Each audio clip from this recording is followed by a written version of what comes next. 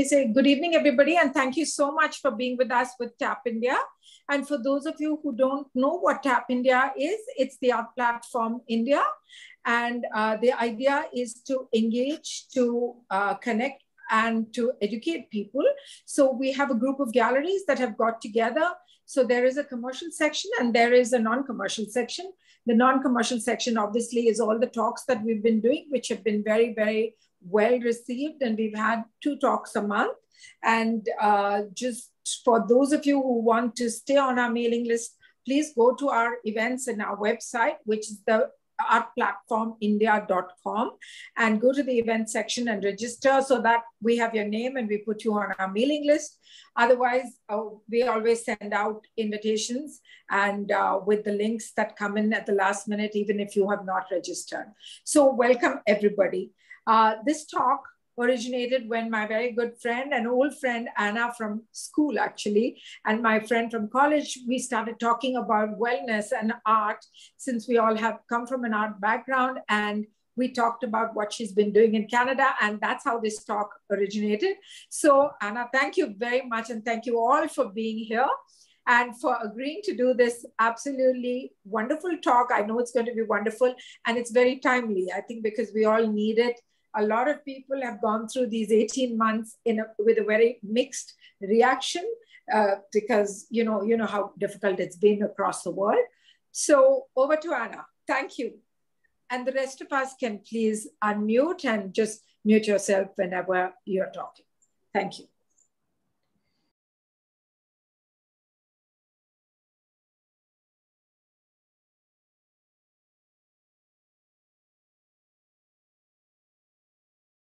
My name is Anna Salgado. I'm founder of Artists in Momentum. We are the Starfish Collective, a group of artists that bring programming into the community. It's a very immersive, hands on program. We want you to value your innate cultural heritage and bring your unique story into this program. This space is very open to everybody. You don't have to feel like you're being judged or you're mis- being misunderstood. It's like a comfortable space where you can actually talk. No one could see the turmoil going inside my head because on the surface I appeared normal. Kind of like woke me up. Like slowly I was like waking out of a slumber. I plowed the seeds of impatience and frustration and the daily stress and I laid down the seeds of love, more happiness, and gratitude.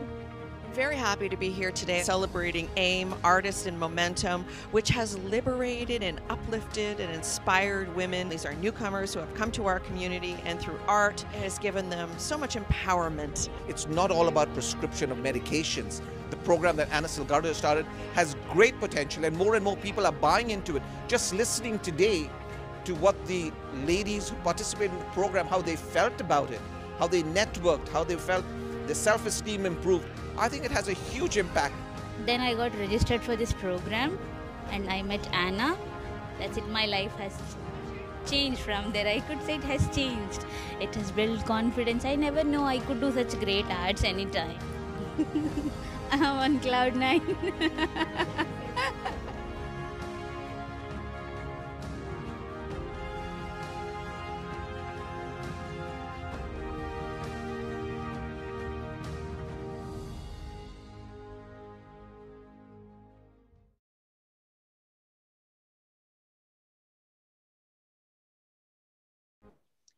So, hello everyone. Um, it's wonderful to be here. And, you know, I'm deeply gratified to all of you for taking time out of your Saturday to join us in this very important discussion.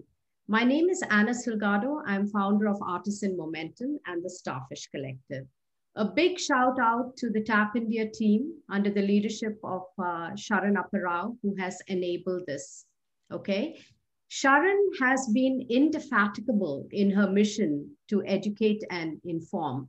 If I have to flip 42 years from when we were mere students, I would have to salute her ability to act on her innate resourcefulness to share the wonder of art.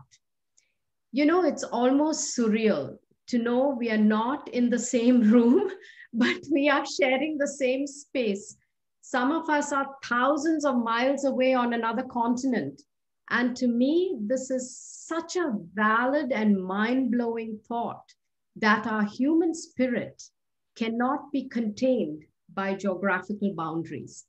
This great spirit that dwells in all of us has incredible capacity. This singular and dynamic power that lies within each of us is so powerful that it can step outside boundaries into the unknown and dive into the colorless places of life to extricate the wonder of imagination and creativity.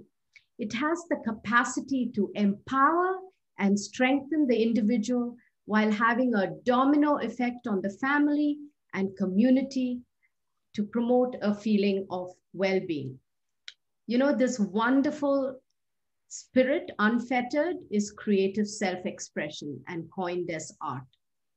So you may ask me, why am I so passionate about art and creative self expression?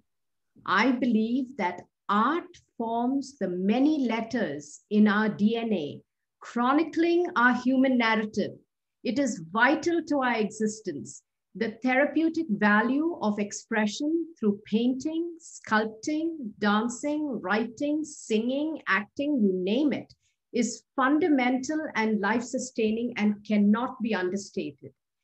In the United Kingdom, an inquiry was conducted by the all party parliamentary uh, group. Um, you can put that on the chat box, the link that I sent. See, I remembered. In July 2017, the report that uh, stated there was evidence of, and open quotes, uh, of a beneficial relationship between arts engagement, health, and well being across the life course. And uh, the report concluded that engagement in the arts can mitigate the social determinants of health by influencing many areas, included but not limited to mental health, child cognitive development, compensating for work related stress, and building individual resilience and enhancing communities. We are here to discuss serious issues that affect all of us, Everyone is talking about mental health, but are we listening? Are our, are our ears tuned to the silence? Can we recognize the signs of loneliness and quiet desperation? Or do we just ignore it and hope it'll all go away?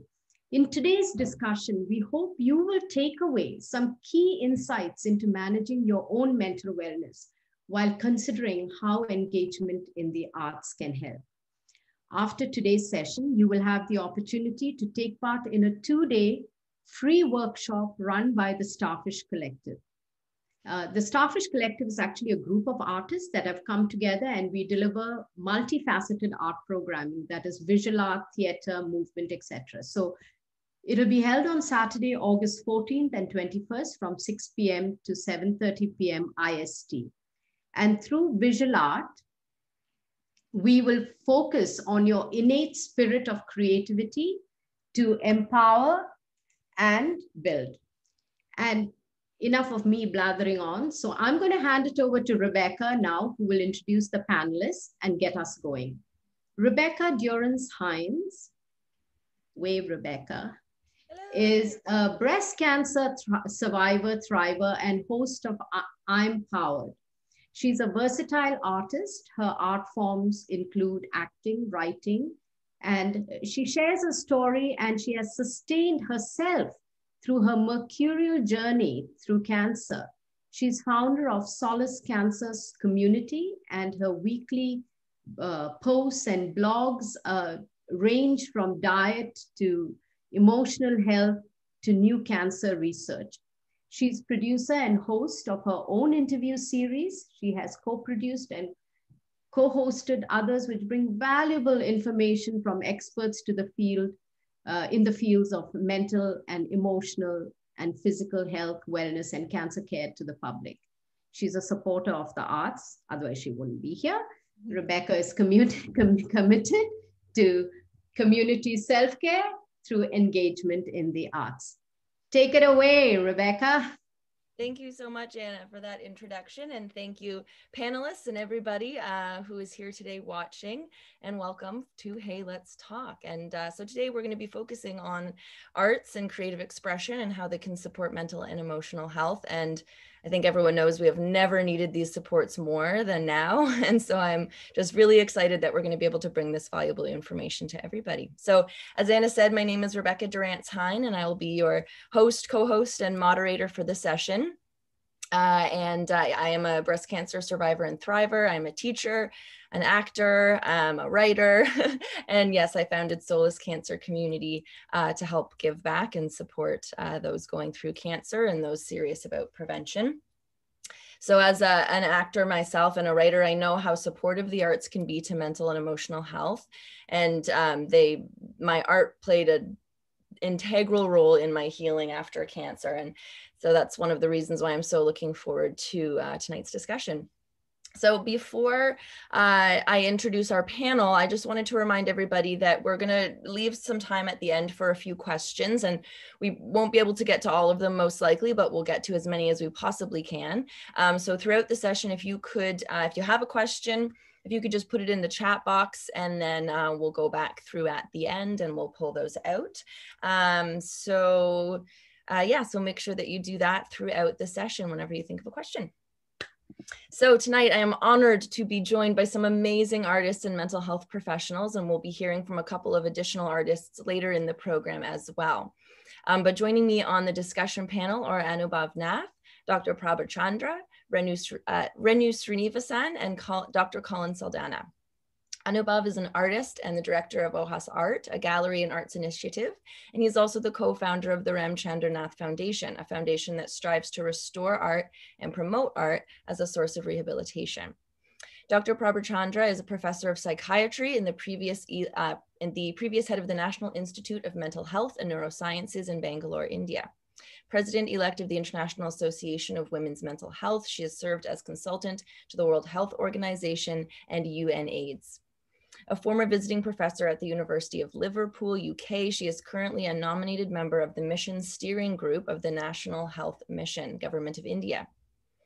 Uh, on the editorial board of several international journals, she has been heralded as a champion of women's mental health in India by Lancet Psychiatry.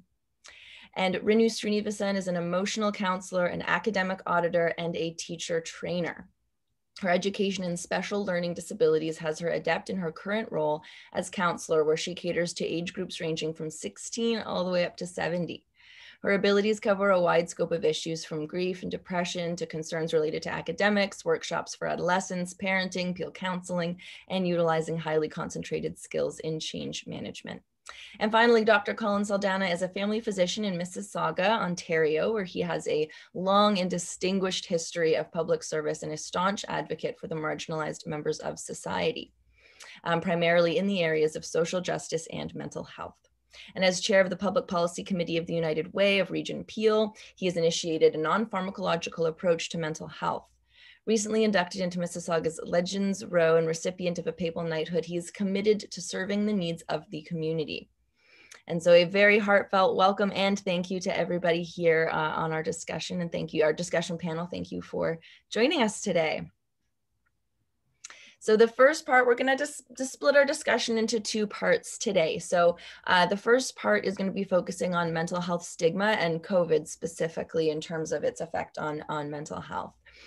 Um, so the the first question I would like to start with, I mean, uh, one one good thing about COVID, which there's not too many of them, but one good one is that um, you know it's gotten a lot more people thinking about and talking about their own mental health and the mental health of their loved ones.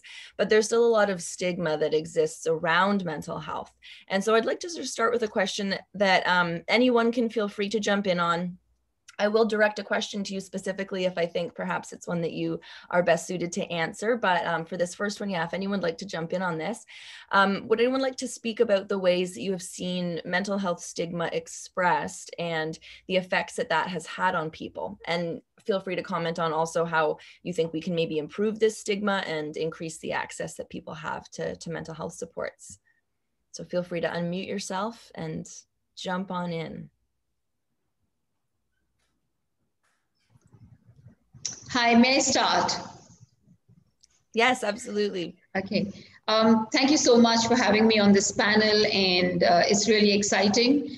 Um, so, in terms of stigma, I think that one of the biggest problems is um, the kind of labels that people with mental health uh, problems get. There is a lot of um, diffidence related to the labels, and people don't like being labeled as having a disorder necessarily. So I think it's about that because once you have that label, then there is uh, all the baggage that goes with it. So I think um, that's a huge, huge problem that I find um, you know people have. And I think stigma also prevents uh, help seeking in a big way. Um, and and I, to me, that, that it delays help seeking. Uh, people don't like um, and, and I completely understand why people may not like coming to large institutional setups and prefer sort of the more smaller counseling kind of services because there is less stigma in, in those uh, locations. So I think, um, to my mind, stigma is about both stigma that is uh, from external sources as well as internalized stigma that people with mental health problems face. And I think when we want to handle stigma, we need to sort of approach it uh, both ways. Both ways. That's very interesting. Yeah, because uh, it, it's so true, right? We do internalize a lot of things, and um, that you know was an aspect of it that really hadn't occurred to me before. So that's a really important point to bring up that there are two sides to that stigma for sure.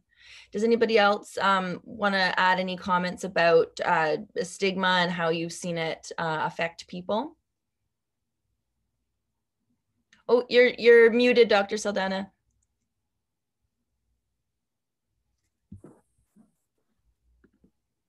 I'll ask you to unmute.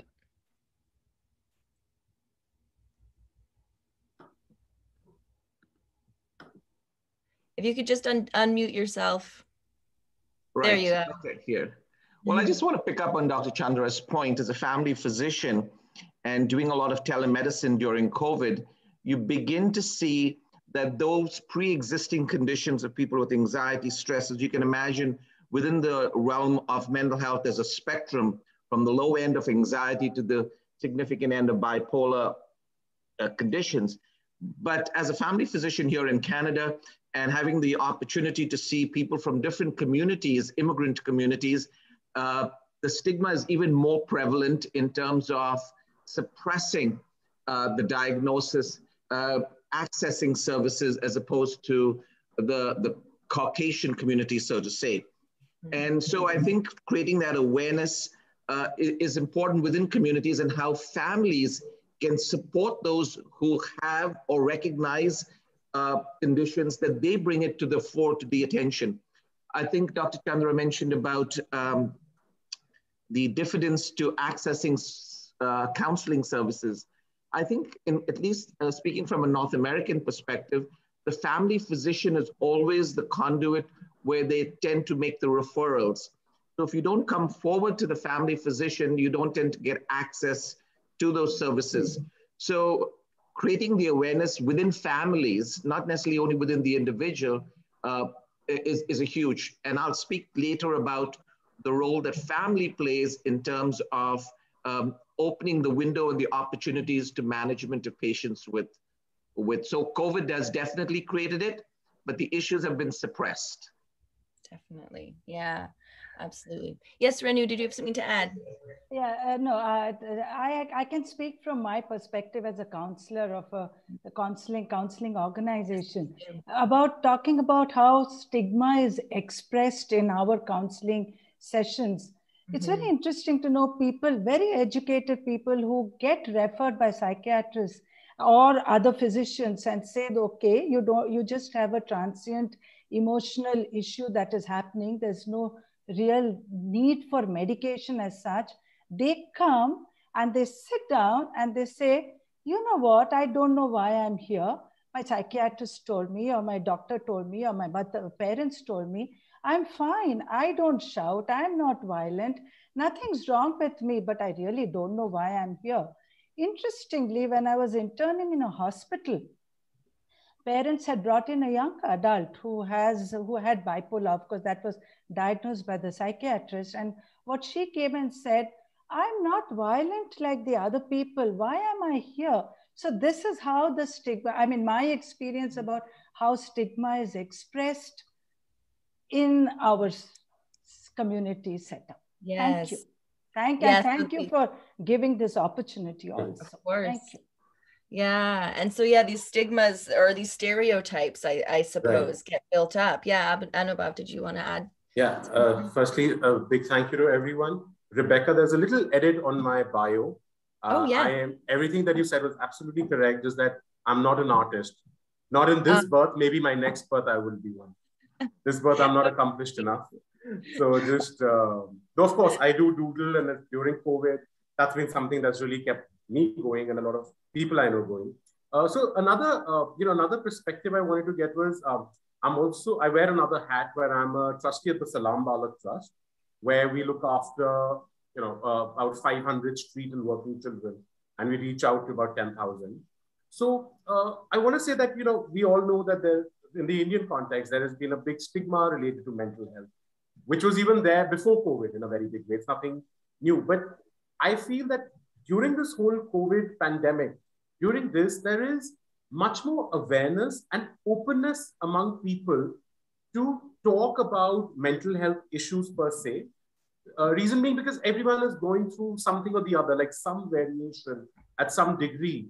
So, in a way, I think people are just being more open and talking about the therapist they go to or the fact that they are in therapy versus being very cagey about it. And uh, you know what was very welcoming to me was that um, uh, a few of my friends contacted me, got in touch with me because um, at the trust we have a very very active mental health program. We have an entire team dedicated to mental health uh, for the children. And I had a few friends of mine get in touch with me, and they were like, you know, we've been in therapy, and it's been really helpful for us. And we know that the Salaam Baalak Trust does mental health, has a very pioneering mental health program, and we would want to support this program. So to me, that was really heartening to see that certain stigmas are getting broken for these people to talk to me about their own uh, therapy, you know, that they are in therapy, and then wanting to support a mental health program. That's really wonderful to hear. Yeah. And um, must be very know, refreshing and very nice Exactly. to hear. So it's like it's really it. changed in the last one and a half years. I feel there's been a change in the whole uh, lens with which people look at the mental health space. That's really wonderful to hear. And um, on on that that note of um, you know seeking more supports for mental health, we know that um, you know COVID has caused a lot of things like you know phobias and panic and PTSD and trauma and anxiety and, and all of these things. Um, Renu, this may be a good one for you to to jump in on first, but anyone can add as well. Um, why do you feel that this pandemic, especially the the second waves and third waves, these additional waves that are happening, why have they weighed sort of you know exponentially more heavy on people and affected their mental and emotional well-being in ways that you know maybe other events in the past um, haven't? You know, maybe what have you seen in your clinic about uh, about that? Yeah, actually, what's happened is in the first wave, there was a lot of fear. People were very careful. The lockdown was yeah, uh, followed very meticulously. And second wave came along. The big difference was between the first wave and second wave, people had become a little relaxed. But when the second wave actually came in, it affected every family. In the first wave, we had heard only about some families being affected. Whereas, actually, even in my family, my mother, who is 91 years old, also got affected by COVID. And it seemed too close for us. And we have calls coming in uh, in our center where people had lost their husbands, people had lost parents, people, children had lost uh, at least one parent. And all this made them extremely anxious, extremely afraid. What it, if it comes closer? What if we don't get medical health uh, help because there are so many cases happening? This was one of the major things that made it much more after the second uh, pandemic. And of course, uh, fear, anxiety, stress. In addition to that, we have many students also coming in, young, I mean, college students who say, what do we do? One and a half years, we've not had regular college, school, and uh, where does our future go? What is the uncertainty? The third the kind, the kind of uh, people who come, third category of people who've come is people who have lost employment or on the verge of losing employment. They have reduced salaries. So they are extremely anxious about how they are going to manage in such a situation.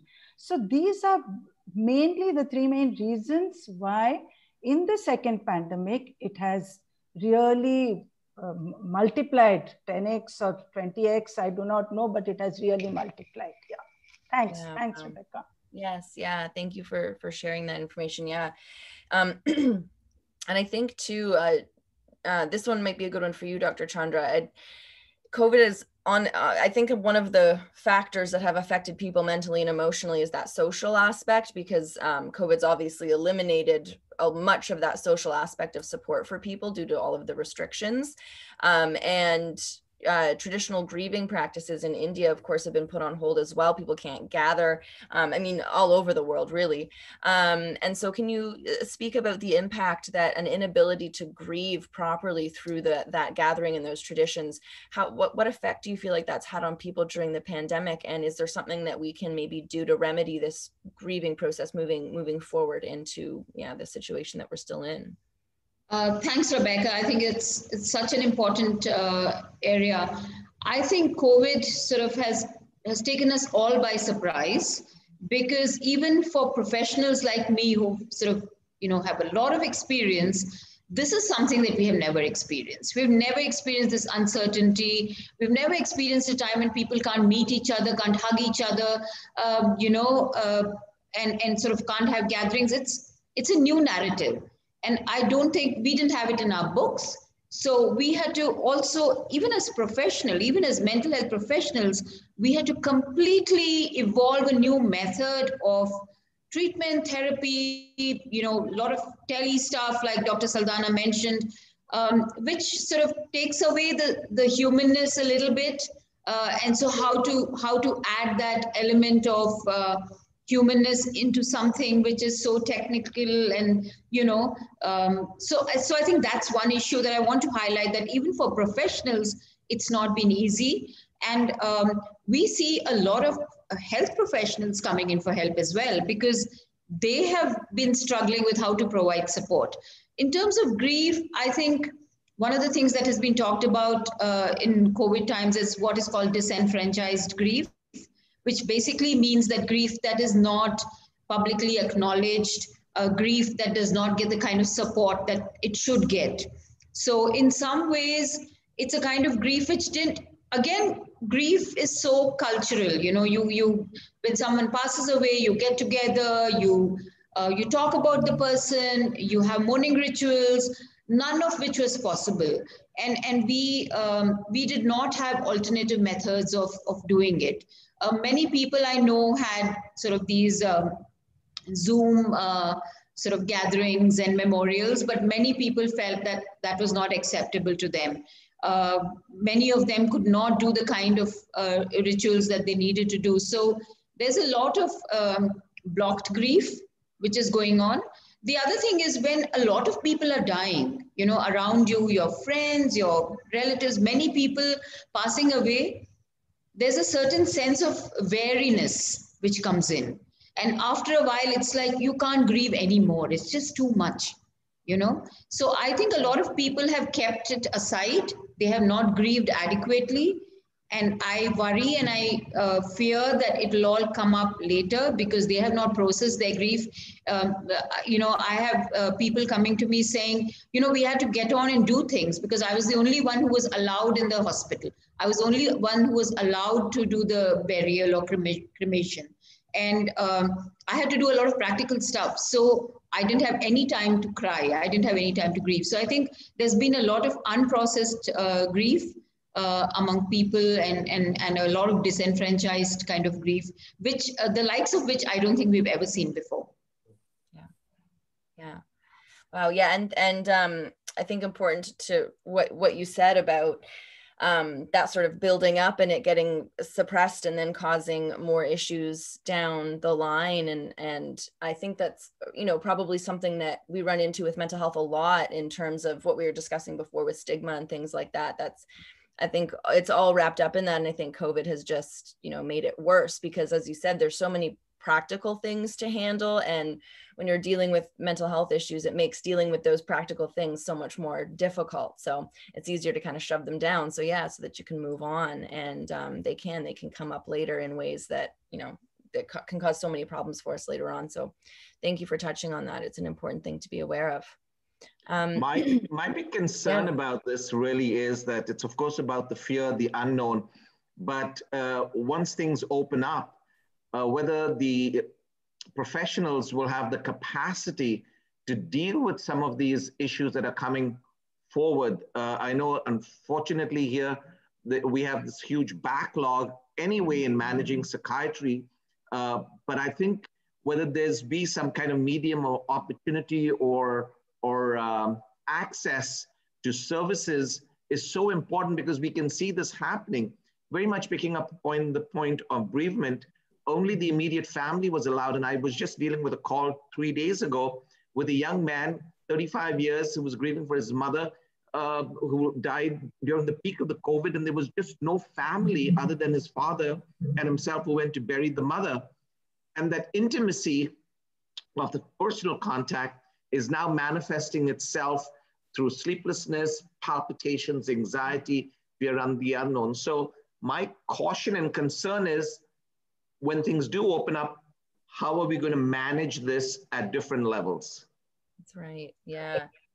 Important to bring up because, yeah, getting through the pandemic is one thing, but then all of the effects of it afterwards. And yeah, we, we don't even know yet what all of the effects are going to be on people long term. So that's also something very important to keep in mind and to be aware of too. Um, so before we wrap up this portion of this discussion, um, I think it's important that we touch on, you know, the mental health of our children and youth, because I think this is, you know, probably affecting them in, in different ways um, that we maybe aren't seeing. So um, anyone can feel free to jump in here. Dr. Saldanha, it might be a good time for you to talk about the family um, family aspect that you were discussed before, brought up before. So, but just how do you feel, you know, COVID's affecting our children and youth in the community that perhaps adults are maybe not seeing or understanding and, and how can we support them best? So I think within the youth spectrum, I think there's the the isolation that's taking place. Kids not in school. Somebody mentioned about the uncertainty about their educational future, missed years. Um, unearthing, like I mentioned about this young man who was grieving for his mother, but she's grieving in isolation. Um, so there's this whole spectrum out there. And I think it's important for families to be aware. What we are talking about here, we are talking as artists, as health professionals. I think the message has to get out to primary care physicians, to social workers, uh, and the inf information is not as robust out there in terms of family physicians or, or social workers about the importance of intervening. Uh, I'm afraid that here in, in North America, we tend to we tend to be quick in prescribing medication. And one of the things that I've been proponent, a proponent of is the non-pharmacological aspects of trying the recreational piece, the, the, the art piece, uh, the sports piece, trying to get make sure that people because as we know that the endorphins are released through this process and there's a hormonal changes in all of this.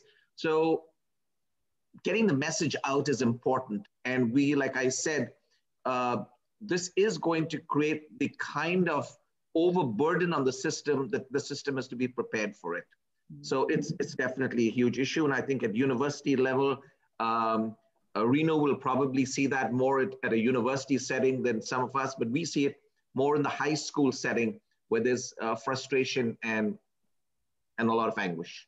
Yeah, definitely. Any anybody else want to add anything to this section of the discussion before we before we move on? Um, Rebecca, so um, so I'm, I'm, I'm doing this study currently in, uh, in children and families in Bangalore in low income settings. It's called the Bangalore Child Health and Development Study, which is, it's like a cohort. We've been following these kids up for the last five years. They're six years old now. And um, these are low income families, so there, there's no online schooling happening. Uh, parents are struggling with debts and loans, and many of them are really depressed. And, and the kids are, uh, and we do like a very systematic assessment of the children all over the phone, of course, um, about how the kids are doing. And parents are really concerned about behavioral problems in the kids. Some kids are very anxious and are withdrawing. Some kids are acting out. There's an immense concern about mobile phone use. Um, because that seems to be the only way the kids are getting entertainment and, and a lot of concern about excessive uh, screen use. So I think that even the younger children um, are really struggling. And, and I don't think, like Dr. Saldanha mentioned, I don't think that we are really paying enough attention to some of the preventive aspects of mental health as well.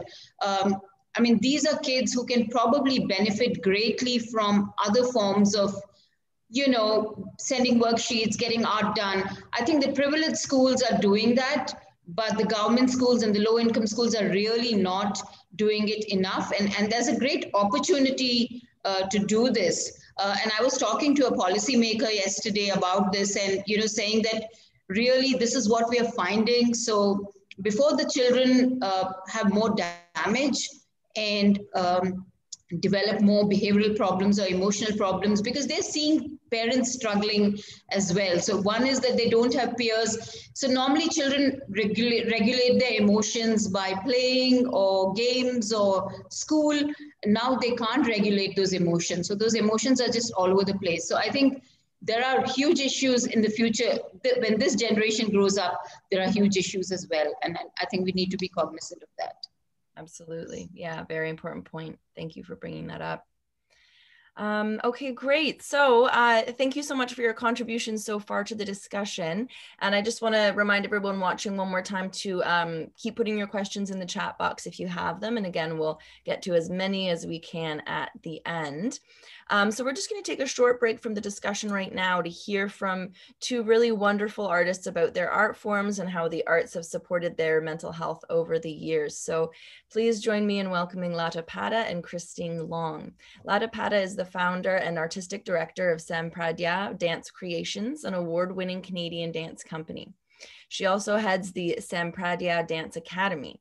Lata has had an extensive international career and holds an MFA in dance from York University. Lata is also a recipient of the Order of Canada in 2009 and has the distinction of being the first South Asian artist to receive this prestigious national honor.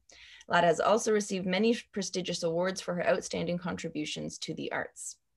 And Christine Long is an artist and co-chair of the Art Trends Collective. She's worked in museums, in the business world, the not-for-profit sector, and for many years in mood disorders associated with childbirth. On a normal day, engaged in the normal activity of walking across a car park, she felt something rip in her brain. Resulting in immediate hospitalization while the medical team reviewed her case, Christine was left paralyzed, and the stroke affected her vision and her speech, leaving her with an acute feeling that her life had come to an absolute grinding halt. The knowledge of brain plasticity in her research during rehabilitation motivated her to engage in the arts, and she used art as a healing tool to help rewire her brain and improve her motor control. She relearned how to walk and talk while art continued to open her mind and vision to incredible possibilities. And now she shares her joy of art by providing adult finger painting classes. Her students have included stressed out artists who need to loosen up and people with brain and mobility issues. So tap team, if you could now please play our videos from both Lata and Christine.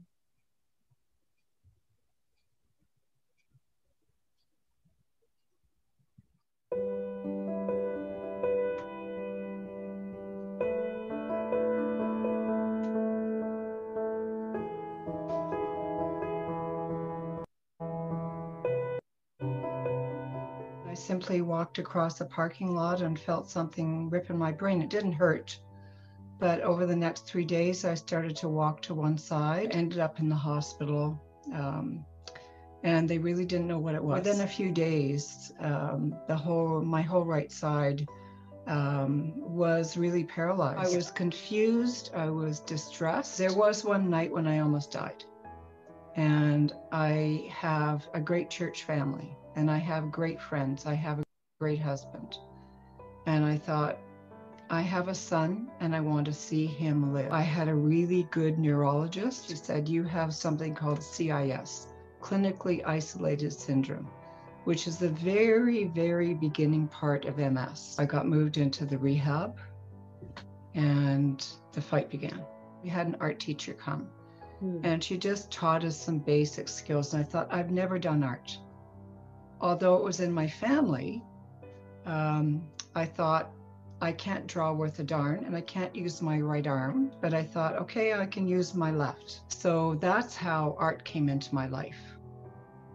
I think the grace of God to me is an important series because I was trying to figure out what the colors of God are. So each one of those pieces was showing a different aspect of what God was like and also what some of the Psalms were like. One of the pieces that surprised me the most uh, was the piece, You Were Fearfully and Wonderfully Made. When I looked at it, I went, That's Psalm 132. One of the other paintings or pieces I did was one called Pure Joy. That one uh, was one that came to me after Easter one time. What I saw was just streams and streams and streams of running water, a huge marsh filled with animals and birds and reeds and flowers. It was on something called Terraskin, which is hard to paint on, but it was just exuberant.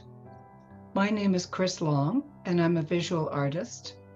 And I really believe that art can improve, change, and um, add to your life in ways that you won't even know until you try. So, God bless, keep going, don't give up, and blessings on your day.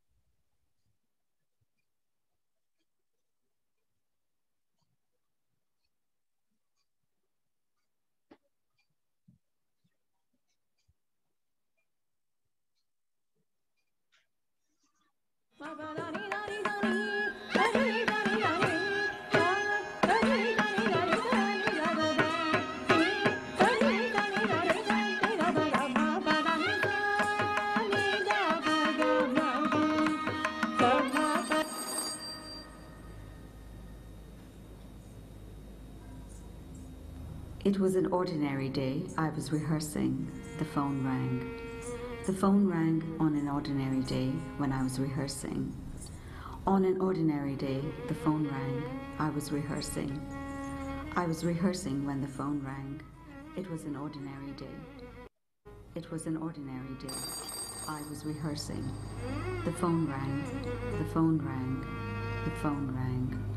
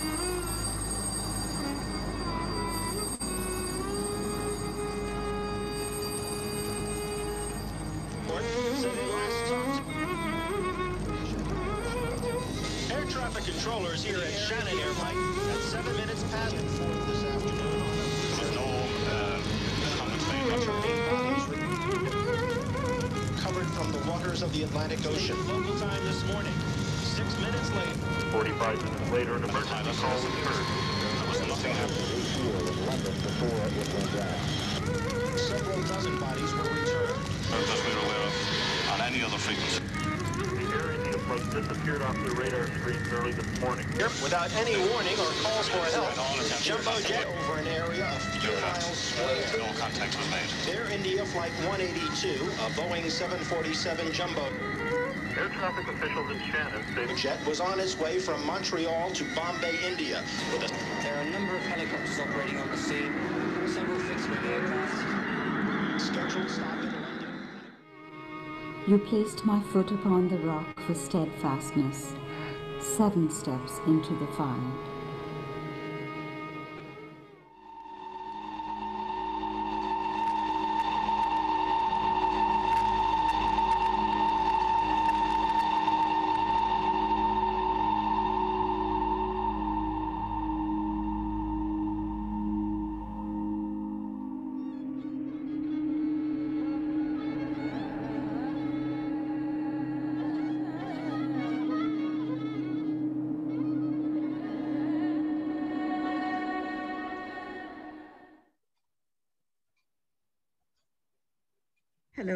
I am Lata Pada, Artistic Director of Sampradaya Dance Creations.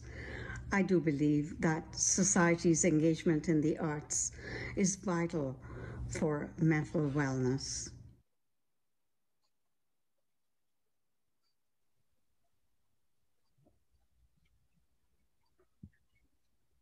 for sharing a part of their journeys with us. That was uh, it was really wonderful to see.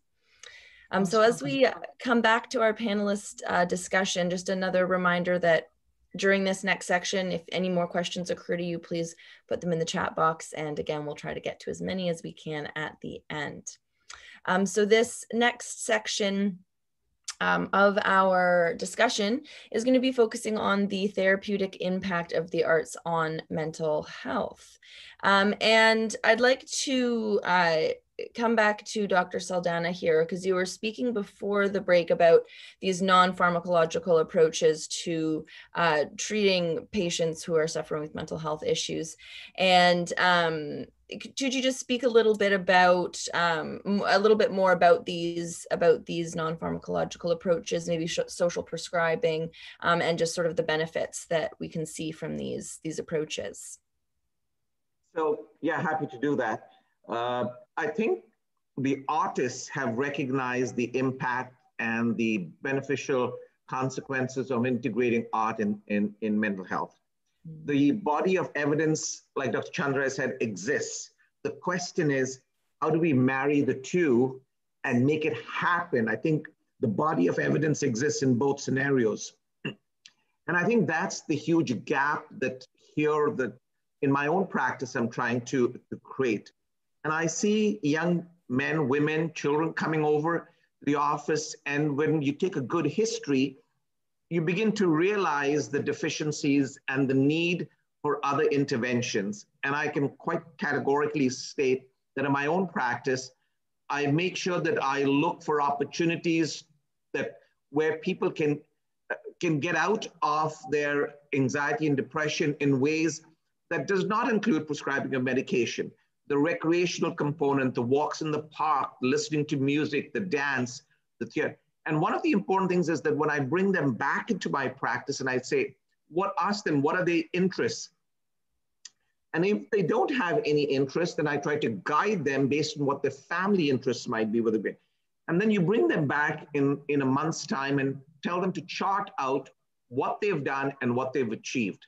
I was reading some studies, one of them coming out from Drexel University in Philadelphia, where the nursing department did a great study trying to demonstrate the interaction of people without medication and the use of uh, art therapy. And they found that cortisol levels were decreased by 75% just within 45 minutes of entering into an unstructured art therapy.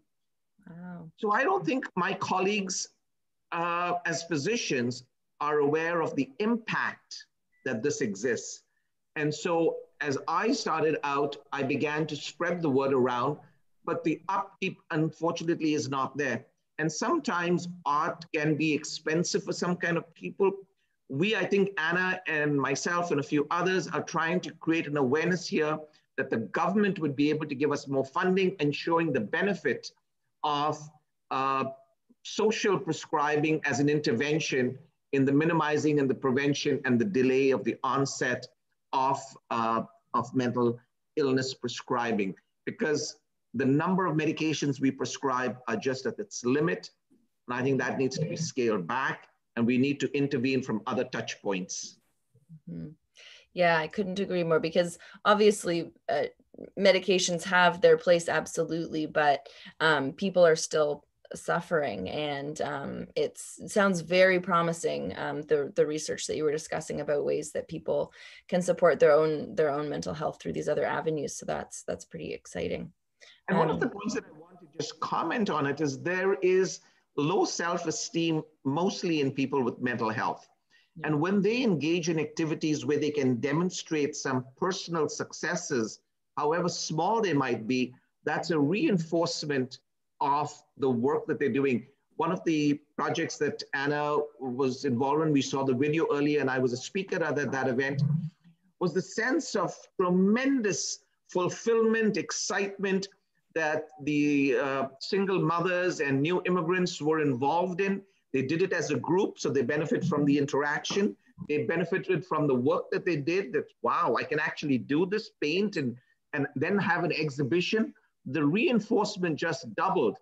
And I think those are the kinds of interventions that have to be a little more structured in in in in uh, the medical management of patient, patients as opposed to keeping it as an isolation. So it's a great augmentative process to do.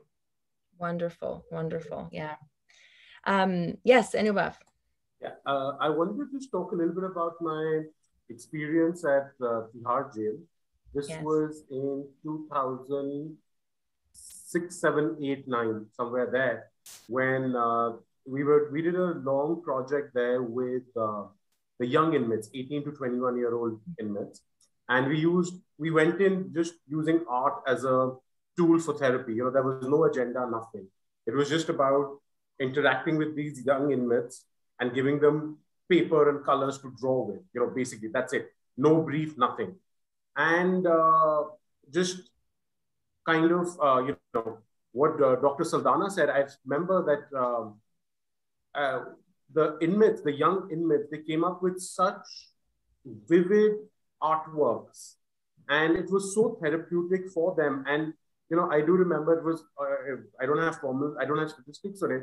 It was, yeah, thank you for the slide. That's, we later did an art exhibition also of the inmates' works along with artist friends, you know, like, like contemporary artists who visited the prison with me. And uh, some of the artwork that came out was brilliant. I, I just, I shared this slide where uh, there was a lot of talk of, there were three things that came out again and again in their art. One was the concept of time because you know they were pretty much just waiting for their uh, cases to be held in court and things like that. So there was a lot of concept of time, spirituality, a lot of gods and goddesses and uh, uh, invocations that came out on canvas, and the third one being sexuality, artworks related to sexuality. Like and in this picture, I kind of got all three actually. So uh, because we, we were dealing with young men, 18 to 21 year old men, where their hormones are ticking, everything's happening. But I do remember the uh, the uh, superintendents telling us that how the inmates were always really looking forward to these classes and how it was it, it, had helped in uh, just maintaining more peace in the prison with like lesser fights breaking out and things like that and you know uh, now it's like the delhi prisons uh, the tihar jail which is uh, it's a model prison in the indian context and uh, they have a lot of different NGOs working there, and art has become a very big part of the prison's programming. And in fact, they've even opened an art gallery inside the prison. Wow, that's incredible. That's incredible to hear. Yeah. Um, just the effects that that's having. That's wonderful. Yeah. Um, and you know, so, uh, just one more thing. Uh, some of yeah. the artists that we worked with, uh, they went on to establish themselves as artists. That's amazing. As they, you know, so they went back to their villages and to their homes and they were able to like generate work by being artists over there. That's fantastic to hear. Um, while while we are with you, um, could you talk a little bit about just about, about what outs because it's related to this um, mm-hmm. uh, this example that you've just been giving this is really wonderful example um, just a, a, yeah a brief example or explanation rather of what outsider art is because there may be some people watching who aren't familiar with that right. so, um, yeah and how it can support people right. so you know mm-hmm. outsider art is uh, the term outsider art originated in the 19 early 70s. Uh, it is essentially when uh, uh, an English art critic, um, Roger Cardinal, he came up with this term of art which was not mainstream, which was not done by artists, but by outsiders, as mm-hmm. the name suggests. At the same time, there was also um, in France, this was referred to as art brut. And this, uh, you know, where it's brut art, it's untrained basically. And this was um, headed by uh, Jean, a French artist, Jean, Jean Dubuffon. I may be getting the pronunciation a little off. And uh, uh, so that was that. But so this is when these point, these terms, these terminologies happen. But you know, there has been right in the uh, beginning of the 20th uh, century, there had been interest in uh, a lot of art that came out of um, mental asylums.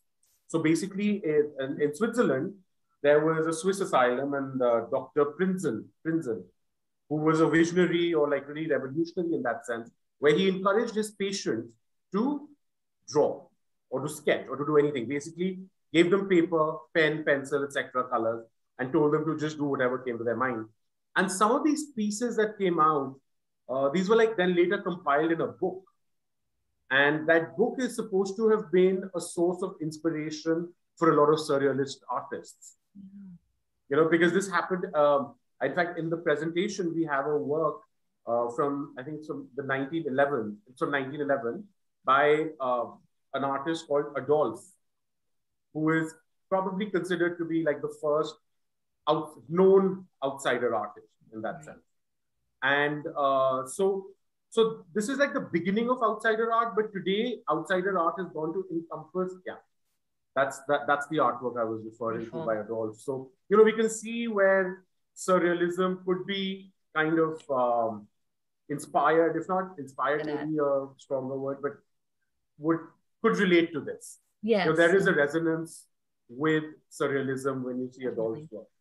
So uh, this was compiled in a book with like hundreds of artworks. So uh, outsider art is now going to encompass a lot of art, which you know, which don't have, which are difficult to be labeled and qualified. So why do we have these labels? I don't know, but I guess we just need these labels to kind of make things easier. Uh, so yeah, um, so now even like the tribal arts, you know, where basically the larger definition of outsider art is any sort of art which is not formally trained. Any artist who's not formally trained, his or her work qualifies as outsider art. So uh, in the international sense, that even qualifies like a lot of tribal art that happens all over the world. And there are outsider art fairs that happen, and people actually collect artworks which are purely outsider, meaning they're not from artists who went to art school, essentially. Right. Right. And uh, so personally, my journey has also been in this category, you know, where we've been doing a lot of work with uh, with non-professionally trained artists, that's tribal mm-hmm. and traditional artists within India. Yes. Yeah, and and from the uh, example you gave with the inmates, it sounds like it um, can be very supportive. Uh, Absolutely, and, and it is very therapeutic. Like I said, you know, and during the pandemic, uh, there's been, uh, you know, coloring books, the yeah. adult coloring books. I have a few. it's like everyone has an adult coloring book on yeah. their desk. And, if you don't, please get one. It's really, really helpful to have one handy.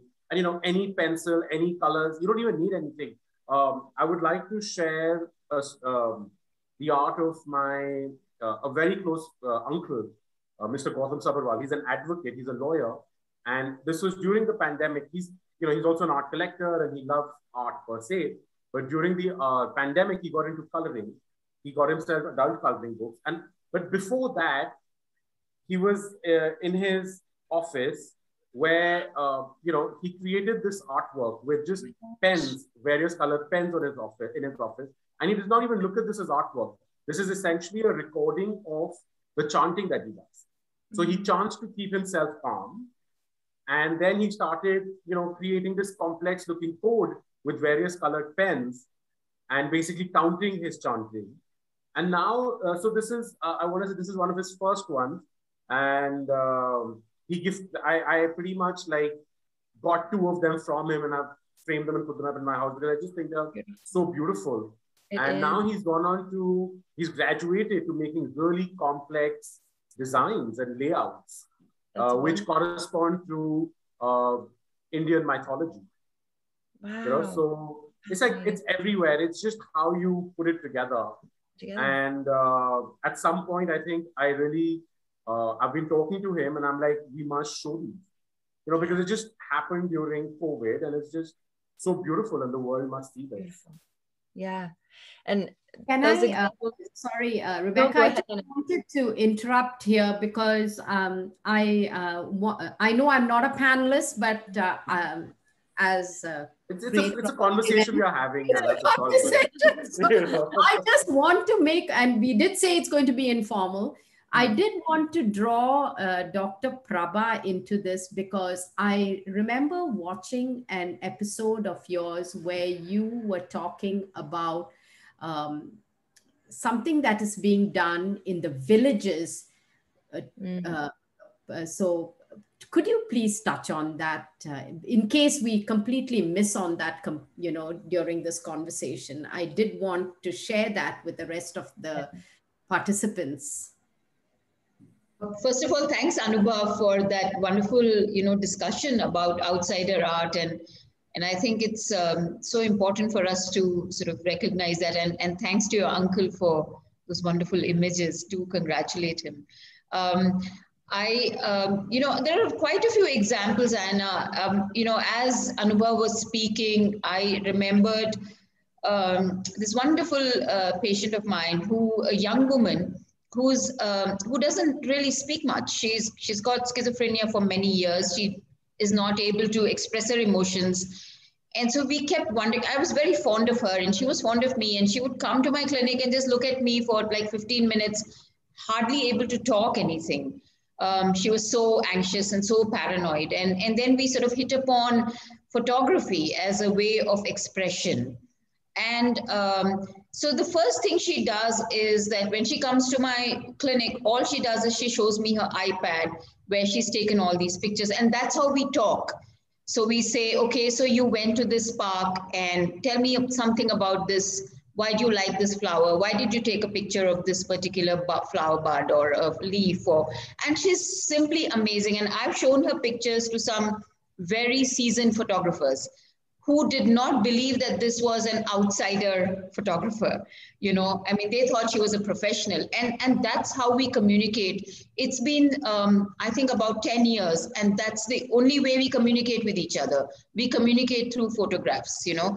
So i think that um, and her brother who's very encouraging has actually brought her a camera and and that's all she does. She takes pictures and that's how she talks about. And i can make out her emotions based on her pictures. And during covid they could not go out to take photographs. And I could see that her mood dipped, she became more paranoid, her hallucinations increased. And we really had to sort of, you know, figure out a way where the, she, so she's a nature photographer. She likes only nature. So we had to figure out how she can have a small balcony where she can take pictures of potted plants so that you know she can get through. So i think this is an amazing example of how very high doses of clozapine which is the drug which we use for treatment resistant schizophrenia were not working enough but photography worked alongside medication of course. And and what anna mentioned was that there are these collectives now of women with depression who actually come and do uh, sort of weaving together you know in groups uh, and that weaving and embroidery of sort of large scale uh, items or like uh, fabric actually encourages them to talk to each other about stories. And in COVID, there's been a big movement about how to um, how to symbolize grief, you know, um, because grief has been so, like I mentioned, so inwards. Uh, can we create pieces of art in different villages, in different communities?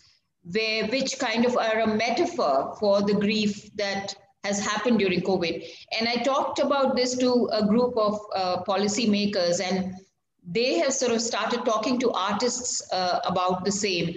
Even in small communities, to have like a like a stone sculpture or a wall or or a tree or or whatever, you know, to kind of have something which actually uh, is a place where you can um, where you can express your grief.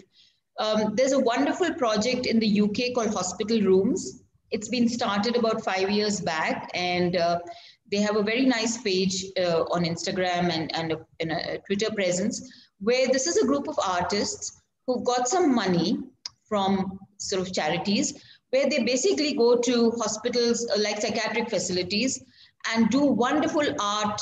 Uh, so that could be um, it could be paintings, it could be installations. Uh, they use various art forms and uh, they uh, involve the patients who are there and they create spaces where you know there's art in the hospital itself uh, and this is called hospital rooms. And i've been trying to see how we can have a similar organization in india because otherwise the psychiatric facilities are so stark and so dreary. And when you're already so upset and um, down the last thing you want to see is bare walls gray walls. You know you want to see something which will give you inspiration give you hope. So i think these are such I mean, um, I think there should be much, much more funding uh, for this. Theater is another art form which is very useful. Uh, and of course, there's of course psychodrama, which is a which is a method of expressing emotions. But uh, many of the children who've lost grandparents during COVID, um, right now we're having a children's theater uh, festival going on. So we've tried to get some funding for these kids and actually have encouraged them to watch these uh, plays online so that, uh, you know, theater acts as a method of uh, handling emotions related to grief. So I think there are, there are so many opportunities. I think it's about artists and professionals coming together to explore some of these, uh, you know, wonderful opportunities. So thanks for letting me share these. Yes, thank you for sharing those. It was wonderful. Yeah, very interesting to learn about all the ways that you're seeing art support people, which yeah, is very exciting. I think the takeaway yes, message. I think the takeaway message from what um, Anuba and Prabha have said is the self-fulfillment, the self-esteem that is enhanced by this, and the empowerment of people who otherwise are delegated to the lower ends of society. How the sense of accomplishment could, is, is there. And I think the success has been mentioned. Uh, one, one suggestion that I would give is with all these fascinating things that are going on around the world and in India, for instance, all the initiatives, that if TAP could do, consolidate these kind of best practices and share this around the world. Uh, and I have an opportunity where you could do that. Uh, and, and I think this would, would, would make people learn from people's experiences. I think, Anuba, what you mentioned in the psychoanalytic kind of uh, theater, I mean, these are rich in opportunities and uh, creating a catalog of what can be done uh, would make life so much easier for so many other advocates and, and therapists. Yeah because it can be intimidating i think for people if they don't consider themselves to be artists or whatever and so they think oh well that's not for me. Um, and so yeah hearing all of these examples and having a consolidated list as you said um, would be amazing because it would help to show people that like oh really anyone can do this. It, it's not just reserved for people who consider themselves artists. Yeah which would be uh, amazing. Dr chandra i would love to see the works by your uh, by your patient if if that's okay Absolutely, I'll, I'll share the photographs. project, you know. I, am sure in the 2000s, I want to say there was this project in the uh, Bombay Red Light District where an organization had given children cameras, the children who lived in the Red Light District in the yes. brothels. And you know that this was before we had the internet and like social media in such a big way. But I remember even then that whole project had gone kind of viral you know, where uh, those kids had an exhibition of the works that they, uh, the photographs that they click in their homes and in their day-to-day lives. Yeah, that's amazing. So fascinating. I think I think I, I remember hearing that about that or something similar, um, right. and just some really remarkable images coming coming from that. Yeah, which is amazing, and just proof that um, you know, yeah, someone who's un- completely untrained and just picks up a camera or picks up a paintbrush. Yeah, also, or, yeah, uh, you know, uh, like Mira Nair, the movie maker, she does these movies like she did Salaam Bombay, which is uh, that's how we have the Salaam Baalak Trust come out of it. Uh, so the children that she works, like whenever she needs to have like slum children in her movies or whatever, she goes and gets real children, like real slum children, tra- uh, gives them art classes, like trains them in theater and acting, and gives them roles in movies. And she, she did that for Salaam Bombay. And uh, then she did it again for Queen of Katwe, where she went into the slums in um, Kampala to train these children and use them in her movies. Wow. I think yes. uh, we are well into exceeding our time. Oh. Didn't even realize. Yeah. It went, Sorry, it went sorry, so sorry. quickly. Time has just uh, flown when we are Yes. having fun, right? And um, so, uh, uh, so I think we should wrap up because um, I I know while we want to talk, I'm sure a lot of uh, people have stuff to do on a Saturday evening in India and a Saturday morning here in Canada. So Anna, I have a suggestion. I think we as panelists have been doing a lot of talking, but I think if Rebecca can just open it out to anybody who can unmute themselves among the audience and just let them express and talk about what they've heard here, what can be done better. And if nobody volunteers, uh, Rebecca, just call upon Diane Lad or Geeta Rao or Leila Koshi to, to, to speak. Leila And Koshi is my so much. sister, by the way. Yes. So, does anybody have any questions that they would like to ask? We could do it that way too. Yeah. If anyone has a question, they can just unmute themselves, or if there's just any comments that you would would like to make, please, please feel free to do that now. Don't be scared. no questions. No. Uh, uh, excuse me, I'm Yeah. Kalpana Yuvraj here from Artist Conclave Foundation. Sorry, I'm not coming on the video because I just went through a surgery and I'm recovering. I'm an artist and uh, a therapist as well. I have been uh, conducting this art therapy program for the trafficked victims in the Directorate of uh, uh, Social Defense. And this has been, you know, there are girls aged 7 to 17 who have been kidnapped and abused, sexually abused, and then um, uh, really rescued by the government agencies. And they are kept in kind of a juvenile home where people cannot meet them. So, Artist Conclave Foundation, we were permitted to go and see them and conduct some therapy programs. And for the past 12 years, we have been doing this. And we see a lot of uh, changes in the attitudes of the girls because any product you give them, first thing they want to do is to spoil it. Because that is the way they were handled when they were too young.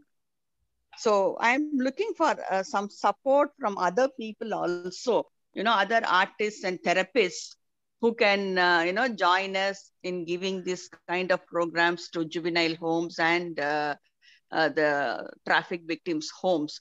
In Chennai, I have done this program in Chennai, in Vellore, and another home in Kodaikanal, which is being supported by Mother Teresa University. So it was wonderful listening to all you panelists and uh, uh, how art therapy works. And thanks to Dr. Prabha uh, of Sneha, who has given a lot of inputs and who has been working with. And when it comes to this kind of uh, giving therapy to juvenile homes and uh, you know this traffic victims, I feel there are not much agencies or artists you know who are involved in these programs. So if there is uh, any agency or any other organization or even a group of artists who would like to volunteer, we would really appreciate this because we are only three people as of now. So sometimes I take some singers and uh, so- once we also conducted a psychodrama.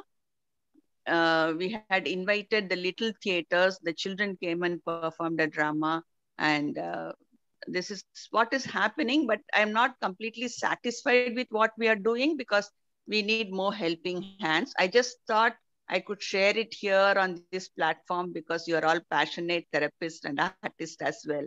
Thank you so much. I'll uh, post my uh, email ID here for uh, your reference. Yeah, you Kalpana, can please, please post your email ID and one of us will get in touch with you.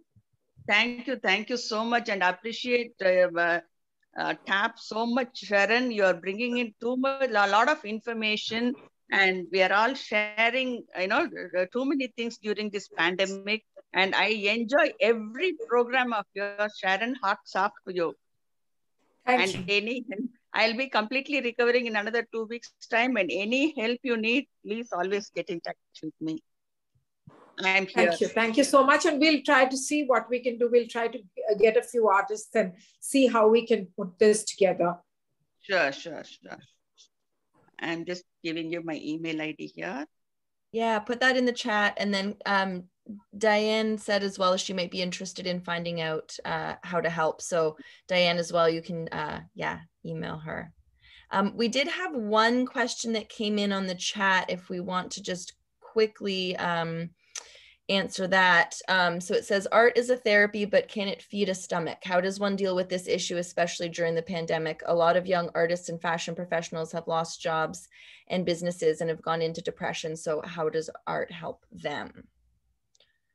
Um, I can personally touch on this a little bit because as an actor, you know, my that industry really got pretty much shut down during COVID.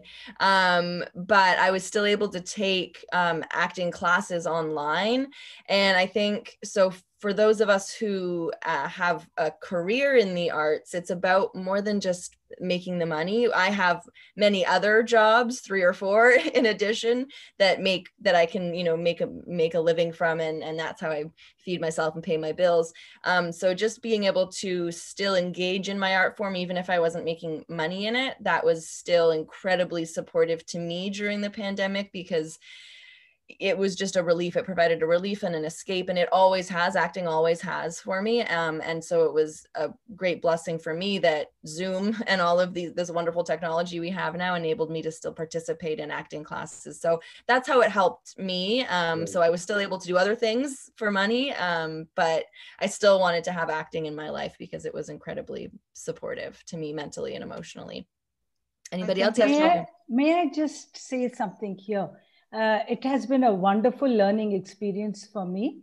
And for addressing the question that here people who get into depression, of course, they may have to seek help and really find out whether they're depressed or whether they're emotionally down. And while you all work with visual arts, while the other panelists have spoken about visual arts, I work at a very micro level. So if somebody is very disturbed and they don't have anybody to talk with, that's when they can come and you know they can ventilate and uh, ours is a very non-directive approach that we use.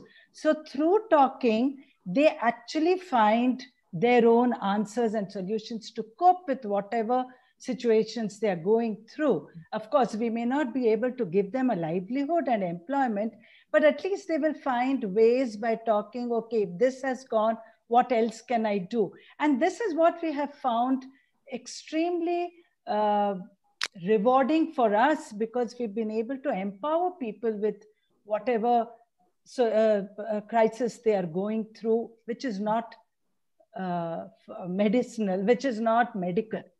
Yes. Thanks, thanks, Rebecca. Yes. Thank you for adding that in, Renu. If I can All also, right. yes. Oh, sorry. Go right ahead. It's okay. If I can also answer your question or the question too about artists and does it pay the bills?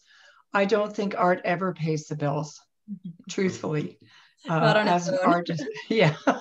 Uh, I think, like you, uh, as an actress or an actor, um, you always have to do 15 other things. Um, you always have to pivot in all kinds of different directions. Art is, um, unless you're a, maybe a Jackson Pollock or whoever else, uh, you're never going to pay the bills with art. Yeah. It's always going to be a joy, a sideline, or whatever. Thank heaven for Zoom. Thank heaven for online sales, but it's really hard. And with COVID, people have not had extra cash.